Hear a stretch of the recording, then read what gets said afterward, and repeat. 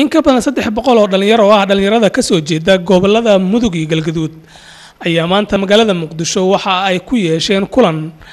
Ay ku taageerayeen musharaxa xilka madaxtinimada maamulka goboladaasi axmed macalin fiqi. Kulanka waxaa ka qayb galay musharax axmed macalin fiqi oo hadda ka mid a musharaxiinta ugu cadcad xilka madaxtinimada ee maamulka la doonayo in dhowaan loo sameeyo gobollada mudug iyo galgaduud dhalinyaradii kulan ka qayb gashay ayaa muujiyey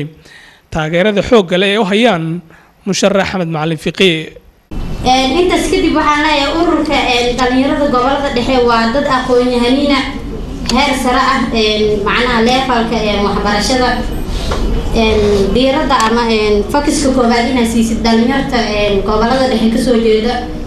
oo waxbaraday waxbaratay inaad taageertid taageero sokorti fiican inaad siisid aan kacna leenahay aan wax qabsano aan wax badan samaysano aan waxa weeye shir liidar xumaana haysa waxaan aaminsanahay murashaxa gobollada dhexe mudane axmed fiqi inuu yahay liidarkii ku habboonaa oo arrintaa ishe qaban lahaa oo arrintaa samayn lahaa ayaan aaminsanahay marka taasaa waxay ugu taagan waa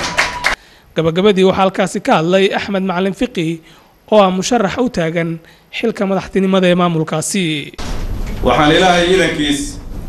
noqon doonaa heestii hadeertaan hadalladii ku jiray oo ahaa hilbihiisii buu cunay nin hagraday dhulkiis. Ma hagran doona dhulkeenna?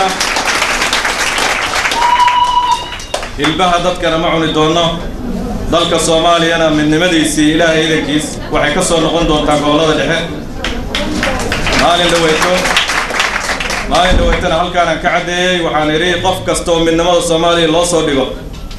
haddaan meeshaas qabto deegaan bay u tahay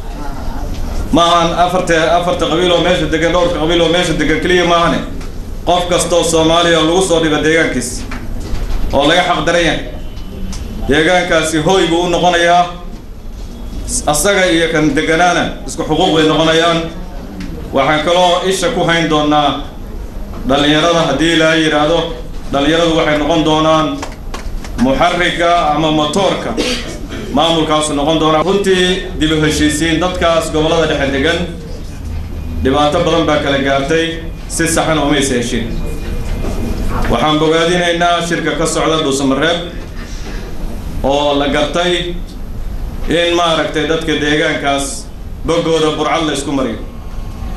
Annagoo rajaynaynaa halkaas inay ka soo baxdo inay dadku ilaawaan amaba xiraan jabtarkii hore ee colaadaha iyo ishaysadka ayna u gudbaan horumarin iyo inaan wiil kale uusan dhiman inaan qabiil qabiil kale ku duulin. Wuxuu ugu duulayana aan la garanayn cabdulaahi axmed nuur universal t v muqdisho